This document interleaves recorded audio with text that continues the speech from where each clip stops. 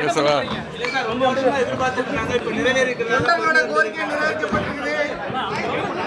வந்து முதல்ல அத்தனை பேருடைய வாழ்த்துக்களுக்கு நன்றி.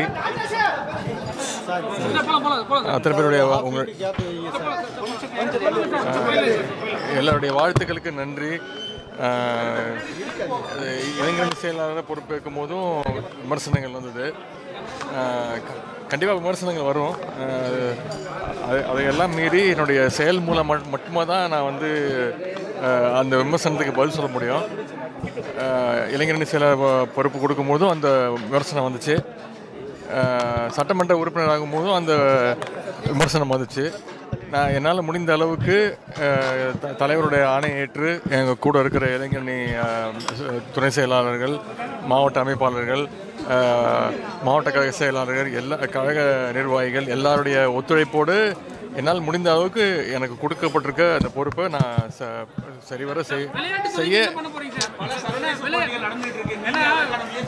சீனா போன்ற நாடுகள்ல வந்து விளையாட்டுக்கு ரொம்ப முக்கியத்துவம் தராங்க. என்ன பண்ண போறீங்க? இப்போ தான் அலுவலகத்துக்கு போக போகிறேன் இப்போ தான் முதல் கையெழுத்து போட போகிறேன் அதை போட்டுட்டு நான் உங்களுக்கு கண்டிப்பாக என்னென்ன செய்ய போகிறோம் என்ன சென்னை தமிழ்நாடை வந்து ஒரு ஸ்போர்ட்ஸ் கேபிட்டலாக மாற்றணும் அப்படிங்கிற ஒரு ஐடியா இருக்குது அதற்கான வேலைகள் இருக்குது தேர்தல் அறிக்கையில் வந்து ஒரு ஒரு தொகுதிக்கும் ஒரு ஒரு மினி ஸ்டேடியம் அமைக்க போகிறோம் அப்படின்னு ஒரு வாக்குறுதி கொடுத்துருக்கோம். அதற்கான பணிகளை தொடங்கி அதை முடுக்கி முடக்கி விடுவதற்கான வேலை ஸ்டாலின்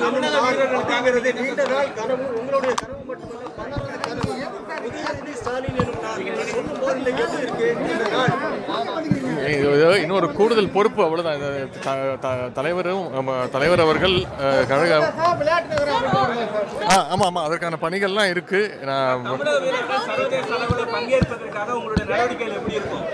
எல்லா எல்லா விளையாட்டு வீரர்களுக்கும் ஒரு நல்ல ஊக்கமளிக்கிற வகையில் எல்லாருக்கும் வந்து ஸ்போர்ட்ஸை விரி விரிவுபடுத்துகிற நடவடிக்கையில் இறங்குவோம்.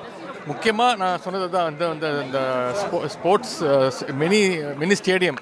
நம்ம தேர்தல் அறிக்கையிலே சொன்னது ஒரு ஒரு தொகுதியிலையும் ஒரு ஒரு ஸ்போர்ட்ஸ் ஸ்டேடியம் அமைக்க அமைக்கப்படும்னு அதற்கான பணிகளில் என்னுடைய முதல் முதல் கட்ட பணி. எ- எல்லாருமே எதிர்பார்ப்பு அதிகமாக தான் இருக்கும். நான் இளைஞரணி செயலாளர் பொறுப்பு இருக்கும்போது இதை தான் சொன்னேன். நான் கண்டிப்பாக என் மேலே விமர்சனங்கள் வைப்பாங்க வாரிசு அரசியல் சொல்லுவாங்க.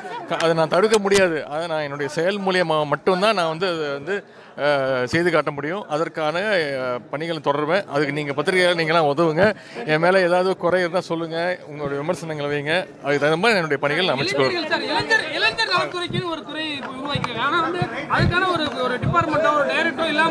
இருக்காங்க. பெரும்பாலான இளைஞர் முப்பது பர்சன்ட் மேல அதிகமா இருக்காங்க. என்ன பண்ண போறீங்க?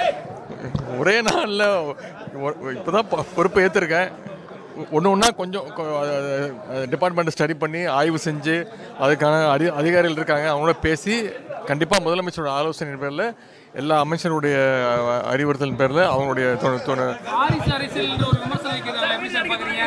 அது எனக்கு புதுசு இல்லை. அது நான் வந்து ஏன் உங்களுக்கு இவ்வளோ கவலை? இல்லை நடிக்கல. கமல் சாரோட படத்தில் வந்து கமல் சார் தயாரிப்பில் ஒரு படம் நடிக்கிறதா இருந்துச்சு. இந்த இதை சொன்னோன்னே அவர் தான் முதல்ல வாழ்த்தினார். அந்த படம் பண்ணலை. கடைசி படம் திரு மாரி செல்வராஜ் சார் ஆசை ஆசைப்பட்ட மாதிரி மாமன்னன் தான் கடைசி படம். நன்றி.